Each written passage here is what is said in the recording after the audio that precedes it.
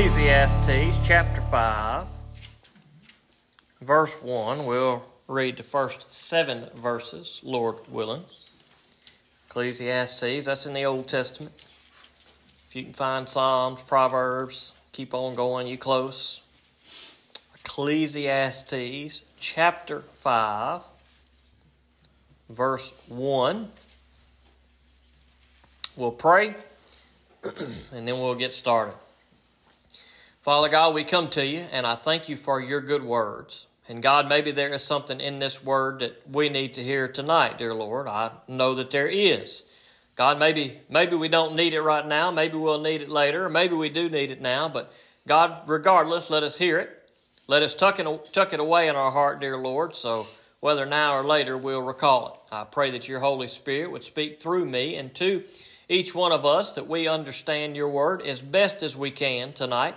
And I pray that it'll be all for your glory. And I ask these things in Jesus' name.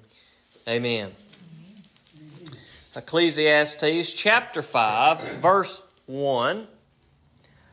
Guard your steps when you go to the house of God. Now, when it speaks of the house of God there, in, in that time period, we'd uh, be talking about a tabernacle, sanctuary, temple, whatever it may be. And, and, and this is good advice for us too, even though we don't have the temple today as they did in the Old Testament and in Jesus' day. That, that is long gone. But when we come together, we come together and we call this place a house of God uh, to some extent. Now, when we see the house of God referenced in the New Testament, it, it speaks of God's people.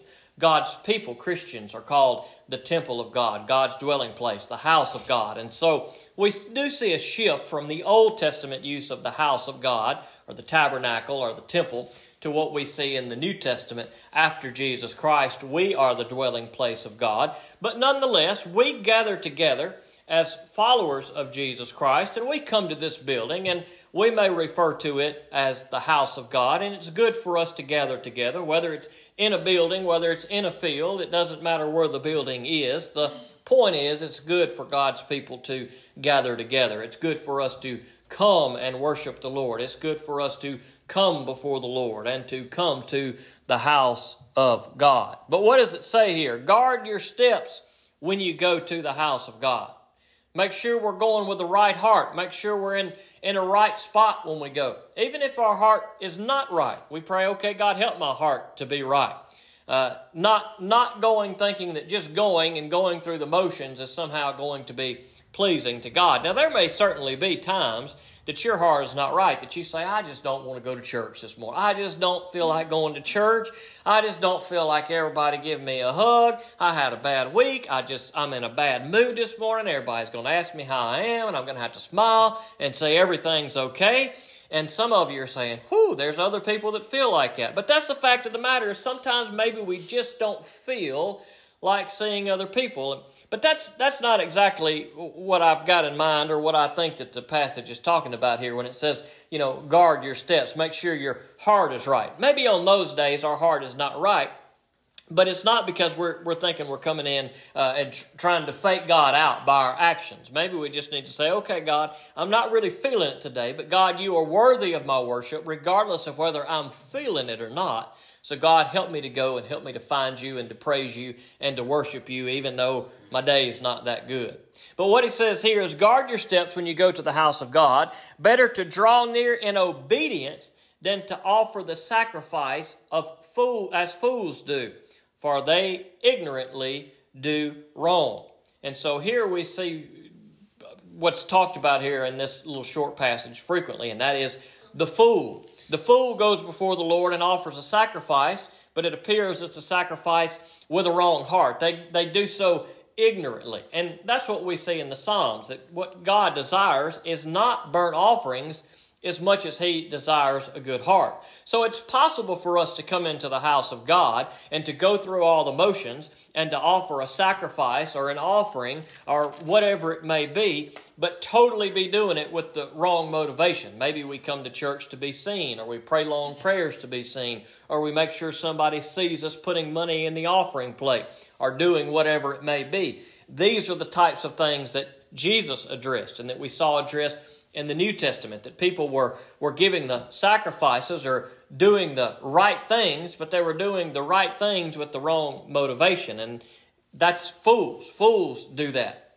And so when we want to go, when we, when we get ready to come to the house of God and to worship God, we need to say, okay, God, one, we're coming just for God. And even if we're not having the best day, then say, God, help me to have a better day and help me to get something from your word and help me to enjoy those people that I'm going to be around that's going to love me and that I love them. And that even if we go to the house of God, having a bad day, that maybe we'll leave having a better day. But we certainly don't want to be those who come in and act as fools and our and our and our motions and the things that we think and the things that we do that are from a wrong heart. That is a foolish thing that is done in ignorance, it said.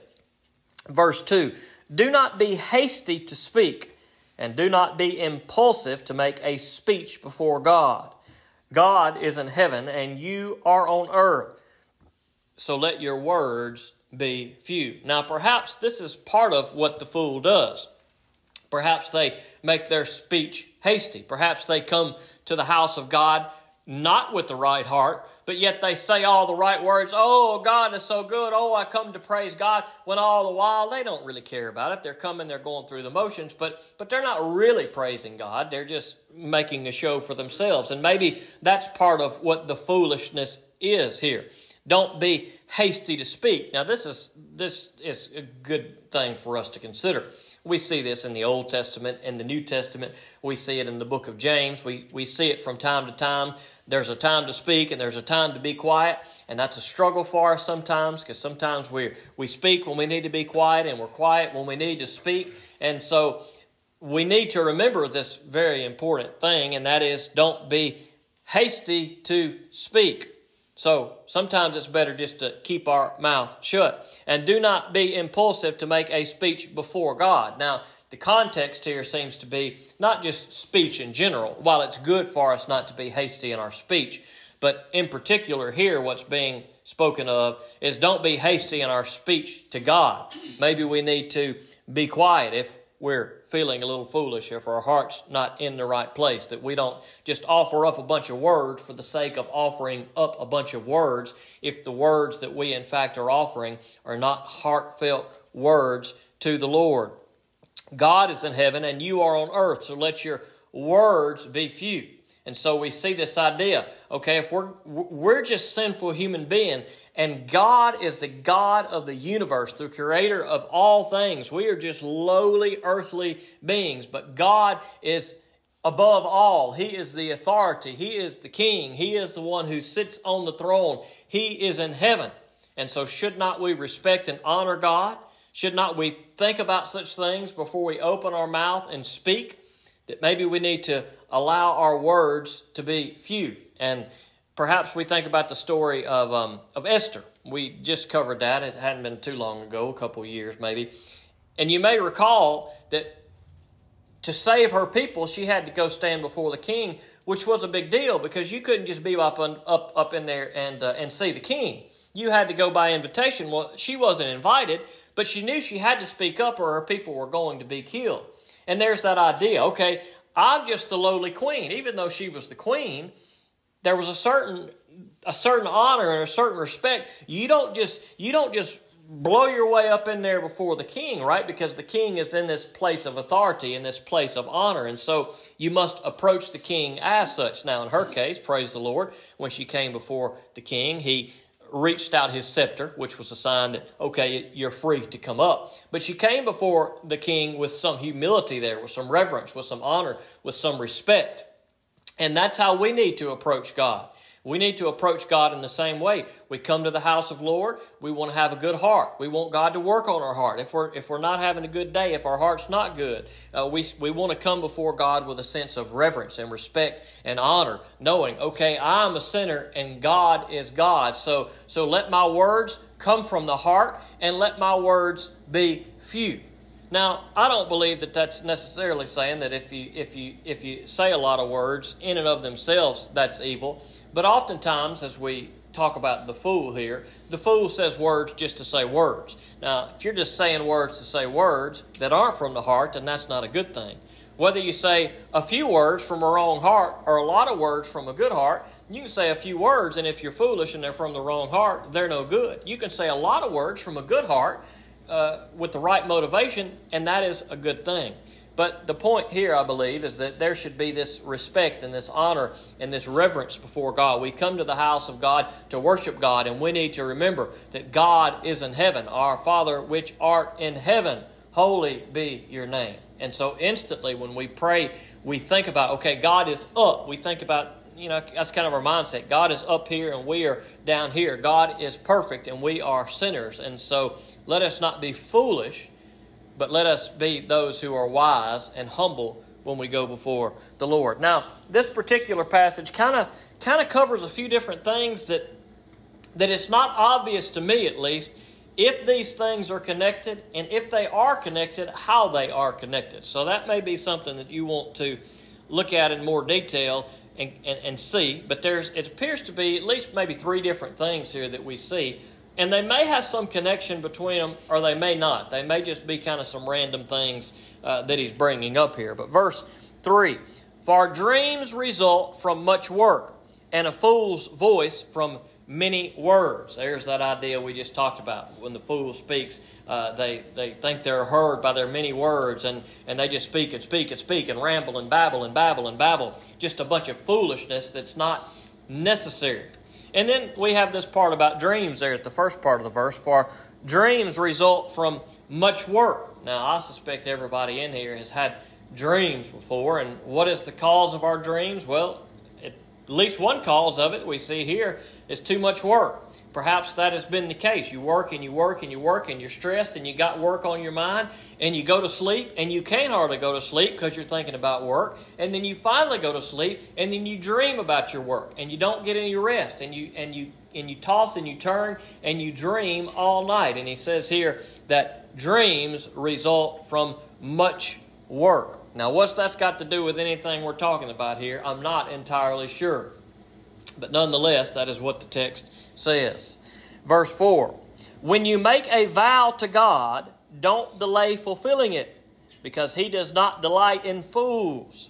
Fulfill what you vow. Now here we talked about the fool that goes to the house of God. Obviously the fool the fool's heart is not right. The fool goes in ignorantly, and the fool speaks many words, and uh, the fool uh, delays in fulfilling his vow. And so the foolish person that's going before the Lord, there's a lot of strikes against the fool here. These are things that we need to, to check ourselves with, okay? Are, are we being foolish? When we come to God, are we coming with a true heart of praise, or are we, are we just going through the motions? Are we speaking many words, thinking we're somehow going to fool God by our words that we speak, or fool others by the many words that we speak?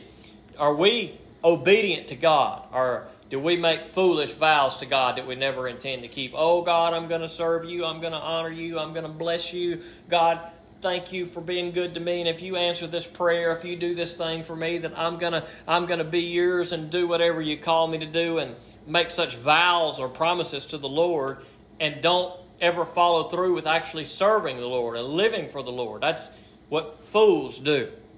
When you make a vow to God, don't delay fulfilling it because he does not delight in fools. Fulfill what you vow. Better that you do not vow than that you vow and not fulfill it. Don't let your mouth bring guilt on you, and do not say in the presence of the messenger that it was a mistake. Why should God be angry with your words and destroy the work of your hands? Now, there in verse 6, my translation says messenger. Some of your translations say angel there. Uh, the word that's, that, that, that is sometimes translated angel and messenger is the same word. Uh, sometimes when we see that word, it may be talking about like a heavenly being and what we would think about it as an angel, but sometimes it's just talking about a human messenger. Uh, perhaps it's talking about the priest here. Perhaps it is talking about an angel of some sort. Uh, as it says, Do not let your mouth bring guilt on you, and do not say in the presence of the messenger or the angel. Now, I'm not sure exactly what that would mean if it's speaking about an angel. Perhaps there's this idea that angels are watching over us in some way, and when we speak such things, it is in the presence of an angel. And don't say, oh, I made this crazy vow that I didn't keep. Oh, but it was a mistake. It was an error. I, I, I didn't mean to say that, or I shouldn't have said that. So don't say those things. So it could be that this is to be taken in, in, in that it's before some angelic being or it could just simply be a messenger of some sort, a priest or someone uh, that God has appointed for something. Uh, it's hard to know exactly in that text, but your translations may say messenger, may say angel, may say something even different than that, but probably just those two things. But when you make a vow, don't delay, because uh, better not to vow than for you to vow and not fulfill it. And it says, Do not let your mouth bring guilt on you. Now, this is an, uh, an important verse to consider as far as making vows, now I don't know how often we make vows before the Lord or that we should make vows before the Lord. That seems like that, that in some way could be a dangerous thing. And so I suppose that even if we are going to make a vow before the Lord, the point is don't do so rashly. If you're going to make a vow before the Lord, then you need to be willing to do whatever you say, God, I'm going to do this, then you need to be able to do it. And it's not always going to be easy. Perhaps the best example of this is found in uh, Judges chapter 11, the story of Jephthah. You may recall this story several years back when we went through the book of Judges. We talked about Jephthah for three weeks. You can find those sermons online if you want to go back and hear more about this story. We talked about this in great detail because it's a it, it deserves a little time, and we will not spend that time on it tonight. But but the short version is is that Jephthah uh, one of the judges of Israel was, was up against the Ammonites, and he said, God, if you'll deliver these Ammonites over to me, if you'll help me to defeat them, whenever I get home, the first thing that comes out of my house, I'll, I'll dedicate to you and offer it as a burnt offering. And lo and behold, he gets back to his house, and the first thing that run out of his house with his daughter. Now, this is a this is a difficult passage what did Jephthah do? Did, did Jephthah offer his daughter as a burnt offering or not? Well, the text is not really clear there. And so there's a lot of debate as to whether or not he did that. Now, in the context of, of the message, as you, as you read that passage, especially toward the end of the passage, it says that his daughter went off with her friends and she mourned her virginity. Now, that seems like a like a, an odd thing. If you're about to die, if you're about to be sacrificed, you would think that maybe you wouldn't care so much about your virginity. But then again, maybe that was super important. Hey, I've lived my whole life up to this point. I'm never going to be able to have children. That was a big part of the culture. So maybe that was part of what she was mourning for, knowing that she was going to die. She would never be married and have children. However, there's different interpretations and some differences there as to the possibility that maybe he dedicated her to the Lord but did not offer as a burnt offering Rather, uh, she remained a virgin. That is, he said, okay, you're the Lord's and, and you're not going to get married, you're not going to have children. That's a whole different discussion. We talked about that, like I said, probably for an hour, that, that one particular topic, and looked at the different, different interpretations there. But regardless of, of what actually happened to Jephthah's daughter, whether he simply dedicated her to the Lord and that kept her from being able to live and be married and have grandchildren for Jephthah, well, that would certainly be a punishment for him. As we well know, even in our community, with some grandparents here tonight, there's a new grandbaby in the world, and that's a beautiful thing. And so to imagine if you're a father and your only child is not going to be able to bring grandchildren into the world for you, that would that would be that would be a pretty big punishment, especially in that culture. And so if that is indeed what, what the vow that Jephthah made, the result of it was, was that he was not going to be able to have grandchildren and his daughter would not marry, well, that was, that was, you know, he brought some guilt on him by making a rash vow. On the other hand, if, if, if he did in fact offer his daughter as a burnt offering, then that was certainly a, uh, something to make him think too, man, I should have not, not said what I have said. Now, that particular interpretation comes with some difficulties too. I mean, even if you make a rash vow, would God desire for you to kill your own child just to uphold that vow? That is a lot to consider in that passage. But when you talk about making rash vows before the Lord, that is probably the best passage that you could study. If this is a topic uh, that, that, that interests you, the story of Jephthah, uh, you can go back and find that in Judges chapter 11. And at the very least, regardless of what occurred to his daughter, the point and the moral of that story and the seriousness of it, it really grabs us. It's like, holy smokes, this was a, a serious vow that he made, and there was something that he had to follow through with that was to his own hurt. As the scripture tells us, sometimes we swear to our own hurt. And so the moral of the story is this be careful about making rash vows. God, if you do this for me, God, I'll do this for you. Now, maybe we're guilty of making such promises. Maybe we have kept our promises to God, or maybe we have not, and that's that's not a good thing. And so, what's the best thing to do? Is not make a vow. It's better to not make a vow than to make a vow and not fulfill it. Now, better than both of those is to make a vow and to fulfill it. But there's a lot of danger in making that vow should you not fulfill it. And so we need to be careful that we don't be as the fool here. That when we go before the house of God, that we don't go in with foolishness and wrong motives, that when we go into the house of God, that we don't go in thinking we're going to be heard because of our many words, that when we go into the house of God, we don't go in making rash vows that may very well be to our hurt, just saying things, oh, I'll do this, I'll do that, with no real intention of loving or serving God, and then it comes back to harm us in the end. And so, what does he say at this at this at the beginning of this passage? Be on guard, be alert, ready, ready, uh, be ready for whatever comes that you don't that you don't go in the wrong direction and ask uh, and act as the fool acts. Why should God be angry with your words and destroy the work of your hands? Verse 7 For many dreams bring futility, so do many words. Therefore, fear God. Now, here, right at the end of this passage, we got we got the dreams coming back into this thing again. Now, uh, some of your commentaries, or, or, maybe even in your study Bible, it, it may say, oh, it's talking about, you know, daydreams there. Uh, daydreaming about things are, are meaningless. Well, I suppose that, that that could be what it means there. That, that doesn't seem to be what, it, what is being implied, at least not in the first verse that we looked at. It's, it's saying that those dreams result from much work. Now, I don't know that, that we could argue that daydreams come from much work. Daydreams come, probably come from, from not enough work. Sometimes I find myself daydreaming, and it's because I'm not working. And I got to say, oh, I got to I gotta get my mind off of that. I got to get back to thinking about what I need to think about. So I say all that to say I'm not entirely sure exactly what these dreams have to do with anything. Uh, maybe we do dream because we do too much work. Maybe we do daydream with something that's going on in our life, but those dreams perhaps are meaningless. And that's what he says here. For dreams bring futility, and so do many words. So our words need to be few.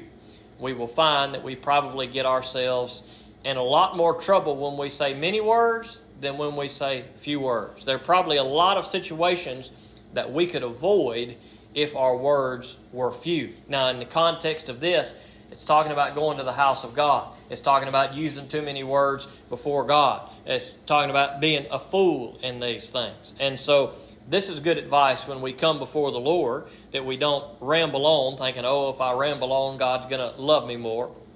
But that whatever we say, no matter how long or how short it may be, the most important thing is that it comes from a heart that desires to serve God. What does he say? Therefore, fear God. And so when we fear God, that is the right motivation, that we come humbly before God who is in heaven as we are in earth. That's what we saw earlier in the passage. And so our fear of God will determine how we are going to interact with God. Are we going to treat God reverently and with honor and with respect? And if we if we go bebopping around like a fool, uh, not fearing God, then we're not going to treat God like who He is, like God. We're going to treat Him like something that we're mocking and making fun of. And we should never treat God in such a way. We should never be foolish in that way. So, what is the solution to not living in foolishness? It is to fear God, which is what we see and have talked about at the end of every message, I think, so far in Ecclesiastes when all is said and done, there is only one thing that matters, and that is to fear God and to keep His commands. And all of these things, no matter how bad life may get, no matter how foolish we may, we may be tempted to become, when all is said and done, what, what is going to get us on track and keep us on track is that we have a proper understanding of who God is, and that we respect Him and we honor Him and we praise Him and that we fear Him and allow that to guide us to do not foolish things, but things that come from a pure heart. Let's pray. Father God, we come to you. We thank you for these good words, and I pray, God, that you would help us not to be the fool. Perhaps there are times that we speak too much. Maybe we try to fool other people, dear Lord. Maybe we try to fool you, but you are not fooled by our many words or by our, our heartless sacrifices, dear Lord. Maybe we give them. Maybe we give the right sacrifices, so to speak. But God, we don't do it from the right heart. We may serve you in some way, but we don't serve you with the right heart.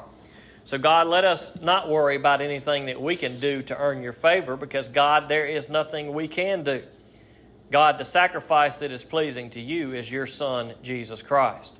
And God, through him, our hearts need to be changed. So, God, let our hearts come to you and come to your word and come to your Son, Jesus Christ. Because, God, that is the sacrifice. There's nothing we can offer, there's nothing we can do because, God, you have done everything that needs to be done through Jesus Christ. So let us not be foolish to miss that. Let us not be foolish to think we can earn your grace, but God, let us let us uh, obtain it, dear Lord, by putting our faith in Jesus Christ. God, let us come humbly before you and to fear you and to respect you and to have reverence towards you, dear Lord. Let us not be quick to speak and speak many words and make rash vows, dear Lord but just to seek you in all that we do. And I ask these things in Jesus' name. Amen.